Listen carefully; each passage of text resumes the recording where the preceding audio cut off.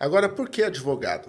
O direito ele acaba estando muito presente na nossa vida. A gente aprende direito criminal pela porta dos fundos, entendeu? Você vai vendo os BO acontecendo na quebrada, vai falando sobre os artigos, vai aprendendo a somar pena, a contabilizar a pena. A gente faz a dosimetria já dentro da cadeia, a questão sociológica que o rap debate, a maneira que vocês batem de frente aí com o sistema, com as questões sociais, tem muito a ver com o direito. Demorou, fomos lá, fizemos, depois entramos na faculdade e marcha fomos que fomos e é, é, lutamos contra tudo e todos lá.